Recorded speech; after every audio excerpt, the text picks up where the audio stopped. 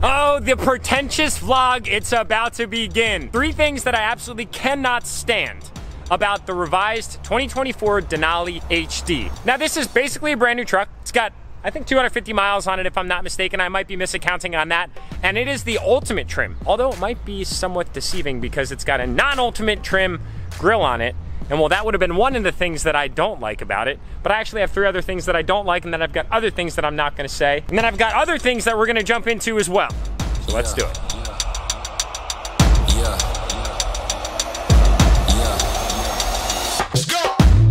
I'm a big mood. You can't name a lot of things that I didn't do. Stacking paper like a book, not a Kindle. You outdated, I'm the one they getting into, and I don't break a sweat. Let's get it, let's get it, let's get it, let's get it, let's get it, let's get it, let's get it, let's get it.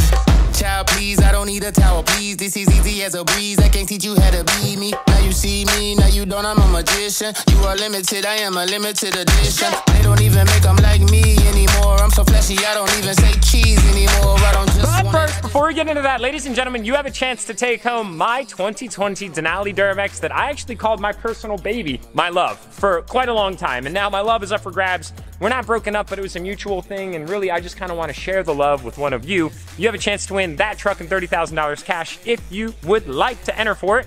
Check out that link in the description below. Cheers to that, my friends. Now, I need to show you guys something real quick. We're about to jump into the vlog. I'm not trying to do one of these extended intros, but something really cool back here is happening. Check out this powder coat color, it's so sick. That, my friends, is for an upcoming build that we're working on, and yes, you guys are gonna see some details of that here very soon. It's a truck that I've been hiding from you guys. I haven't really been hiding it, I just haven't been filming it. If you come to Left Lane Coatings, you would see it. That's all I'm gonna say. This is called Copper Coin 2. We've got some Flight Fab brackets here, some Flight Fab 4-link, Carli coils. It's kind of my go-to. We got the top hats for the shock mount but I just wanted to show you guys how cool this color is. I don't even think lighting really does it any justice. It's a semi-gloss finish. Let's see how the reflection, look at that. Oh my God. Deshaun, you absolutely crushed it on this thing, my guy. And then also take a look at my new to me Corghi tire machine. Thank you guys so much for your business here at Left Lane Coatings. Things have been absolutely popping off and I gotta give credit where credit's due. It's all thanks to you and, well, of course, my amazing team over here ensuring that we create nothing but the absolute best powder coat purchase experience in all of Pennsylvania. Now I'm finishing up, ooh, a penny. I'm not gonna pick it up though. It's on Tails. Tails never fails. The spark is complete. Now I'm ready to spark a conversation. The Denali HD Ultimate that I picked up not only but maybe about a month ago and it went right into the guillotine. It got chopped into a million pieces and then it came out looking 15 times better. I have a Ultimately, I have a problem with the Ultimate trim because, in my opinion, General Motors had a fantastic opportunity to really truly build on the loyal customer base that the Denali trim line offers. This is like the business owner that wants to ride in class but also have the ability to utilize Title 179 as a write off deduction for their business to do business. You can buy what is just south of a $100,000 truck and write it 100% off in that tax year. I'm not an accountant, so don't take my advice. Consult with an accountant about that. That's my disclaimer, but I do know a few things about business. That is a wonderful mechanism to enable business owners to do more of what they need to do, which is run their business. But then you drop the whole, hey, we're gonna make this a Denali, we're gonna give it this really super badass interior. That is a very, big stepping stone upgrade from that of the previous generation. We're gonna give it softer composite leather. We're gonna give it massaging seats. We're gonna give it this whole new big screen. We're even gonna put like a suede Alcantara headliner in just to make you feel like you're in a super truck. But we will not stop there. We will then give all this chrome to our owners on the back end. We just want to make sure that they stand out from the rest, so we're going to put Vader Chrome up front. And I didn't agree with that at all, so I deleted the Vader Chrome. I deleted the Vader Chrome insert. I found the standard Chrome. Big thanks to Laura Buick GMC.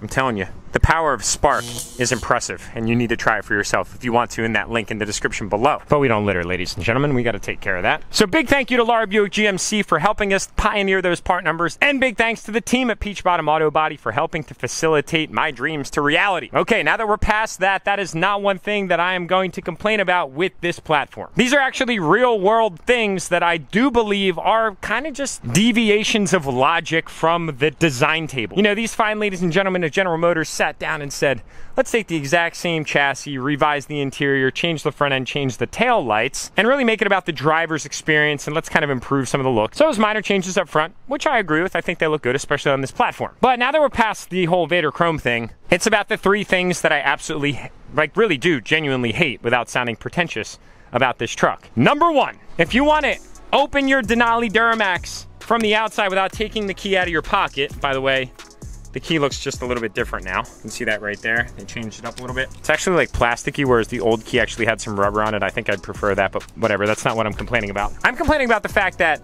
you can hit this button and lock the truck. You can hit this button to unlock the truck. The strength of it here is I like being able to haptically have that button. Like the Fords have this thing where you touch this pad on the back of the handle and there's a delay.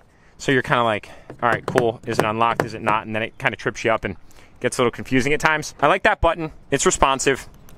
It's good haptics, good feedback. I don't like the fact that there's no button on the back door. Now, I can't do it. And I'm a father. We're actually expecting another one in October. I've got a three year old here come June 23rd. And as a dad, when your truck is locked and you have a toddler right here, and, and any of my parents know, or you're holding a, a stroller or car seat, and you just want to unlock your truck, open it, and then go, you can't. Now you need to work up to the front. Yes, I know that sounds ridiculous, but I was spoiled because in the truck that you guys could win, it's actually set up that way. This truck is not set up that way. Fun little fun fact. Dylan, I probably sound so ridiculous, don't I?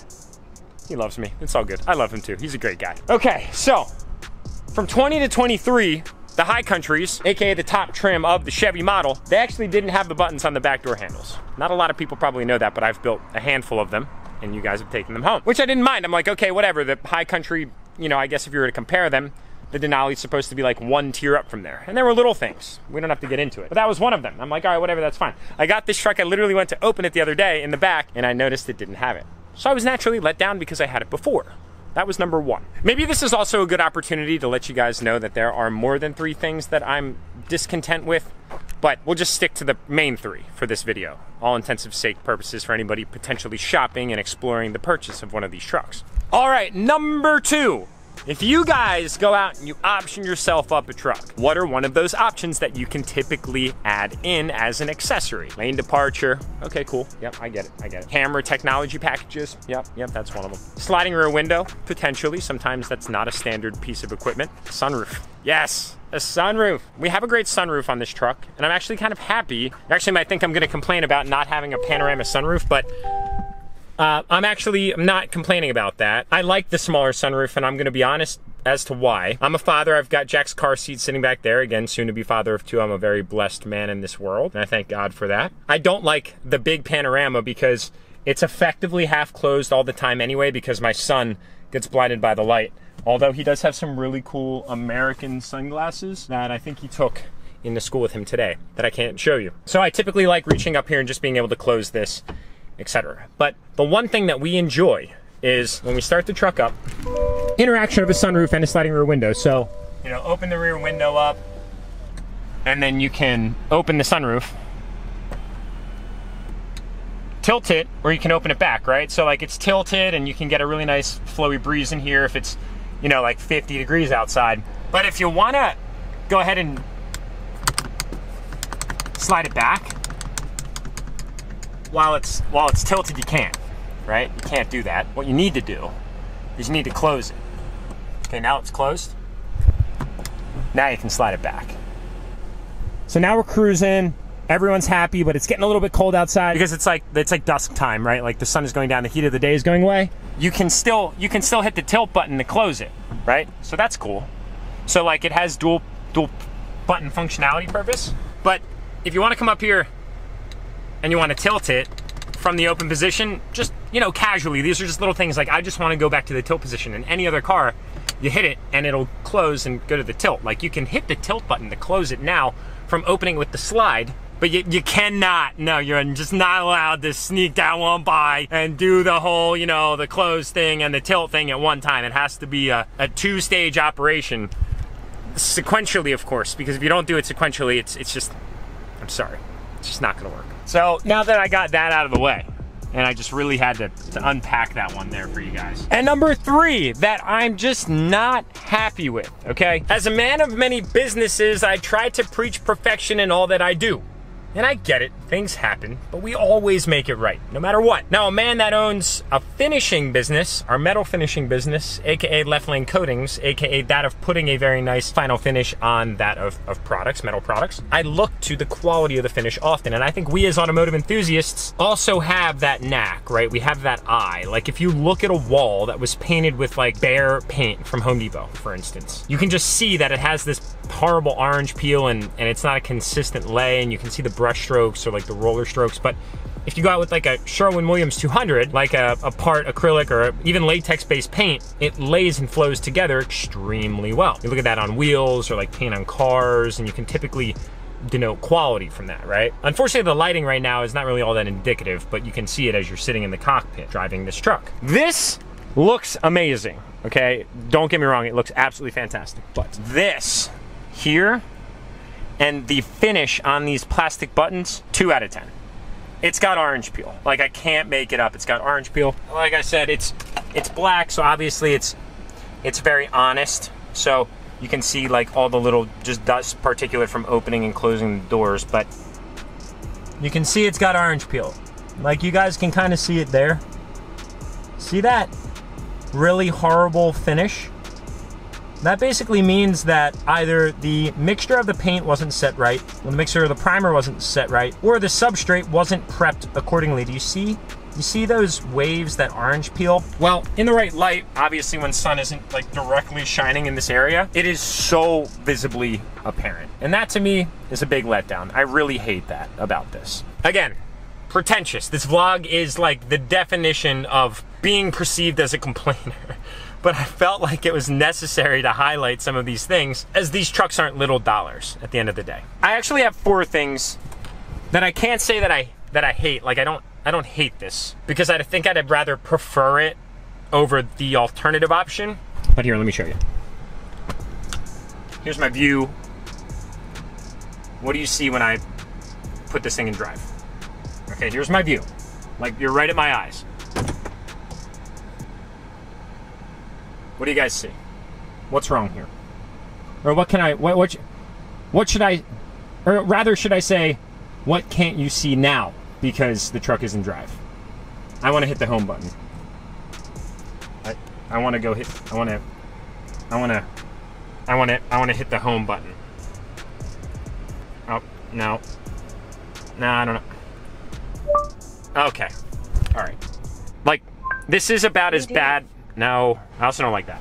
This is about as bad as the Multi Pro is, as far as as far as design goes, right? Like you have your aesthetic functionality, and then you have your functional, uh, you know, performance. Really, the gear shifter directly in front of the, the screen, so like you kind of either have to go over or under or around to get to these buttons right here. So I don't know if this was taken exactly out of the 1500s, but the 1500 has a gear shifter right there. And I like that the gear shifter isn't right here because I think HD trucks should have the column shifter, especially like to those of you guys that plow and, you know, do a lot of backup and forwarding and whatever the case is, like rather than this thing right here. They use this entire area to to put this trailer assist thing, which like I get it, but it really didn't need that real estate. Like I may or may not have a real estate company that I may or may not tell you guys about here at some point. Like we fix and flip houses. So we'll get into that. And there's like grades of real estate, right? Like there's like your prime real estate. You guys have heard that like location, location, location. Then there's like B grade real estate and then there's like your C grade real estate. And these like, you know, are relative to things of, of importance and value,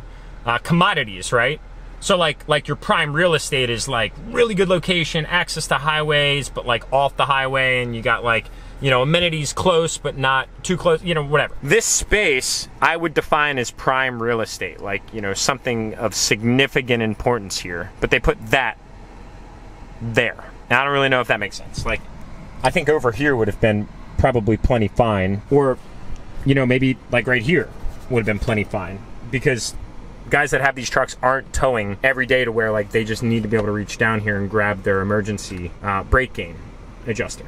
So anyway, I guess what I'm saying is like, did they pull this out of the 1500s and just not account for the fact that like the shifter is in is on the column instead of you know in the center console in these trucks? I really just don't know. So that doesn't really make any sense. The fifth thing that I don't like about this truck, I said three in the title, but like five things, and this is kind of ridiculous. But why would you only design at 75% of the digital landscape of the screen because the screen technically goes to like here we'll use the dust in our favor like right there and all the way over oh, all the way over here right so the screen goes from here so you get that little space there to here so you're you're missing essentially from here to here over we're just to go ahead and and optimize it for 75% viewership because you know you really want what you can't have, right? And you, you just you just can't have that side or that side. Like you're just not allowed. I don't know. Does it make sense to you? And like this infotainment thing is cool. It's very nice. You can like leave the cameras on constantly as you drive. Like it doesn't time out. I made an Instagram post about that the other day, which I like. Especially like your blind spots, like, you know, backing up, especially if you have like wide wheels and you're new to wide wheels, like that's kind of cool. And you know, you got like your 360, you can partition it into thirds, and you know you can watch like your back like bumping or you know backing up into stuff. Um, you can watch your trailer hitch. You can watch like your bed, and you can zoom in on like your fifth wheel and gooseneck assembly, which I actually really like. You can watch your cargo, but you can only see it in this perspective. And then you come out to like Apple CarPlay, and it fills that side so you can multitask. But there's no way you can like close this button if you don't want to know that like, like your iPhone is numbered like this random number that like iPhones randomly do, you can't just make it the full screen. So again, like you always want what you can't have. Do I care? No. This is a this is a really nice screen, and this is again the most pretentious vlog ever. But you're just not allowed. Number six is this thing rattles sometimes, and it sometimes doesn't open. Like you kind of have to like do the double tap. You need to have your perk double tap enabled to like actually open it up because if you do it the first time, you need to double tap. So that wraps up the, the five things that I actually really hate about this truck. Well, that's where we're gonna wrap up this video, ladies and gentlemen. My wife, my son, and myself are actually gonna be headed out to Hershey Park for the afternoon because it's a beautiful day here in Lancaster, Pennsylvania, and we're gonna take full advantage of the family time potential that the sunshine brings. Thank you as always for tuning in to the channel. If you guys haven't subscribed already, consider doing so. Smash that thumbs up button on your way out. Grab some entries for Dream Deals giveaway number 32 that's sitting on inside. And we'll see y'all in the next upload. I'm on my way to Hershey Park as we speak to pick up the family. All windows down, it's a beautiful day. And I'm just sitting here, I'm like, I'm really grateful for this truck, grateful for the opportunities that I have in life. And then I look down and I realize that there's actually, there, there's another thing, a sixth, sixth thing See that dead button right there? That would be such a fantastic location for an auxiliary switch, of which this truck has zero of. Zero auxiliary switches.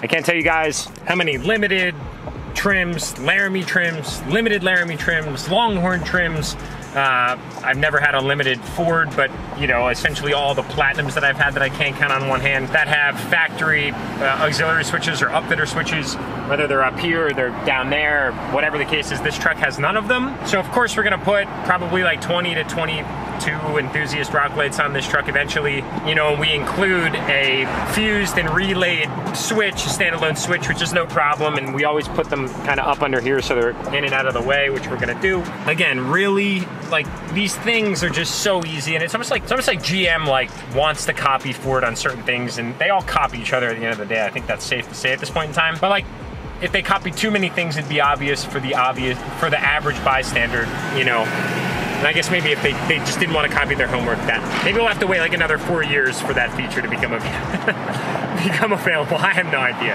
Also, Enthuzst license plate on that Chevy. Thanks for your support, brother.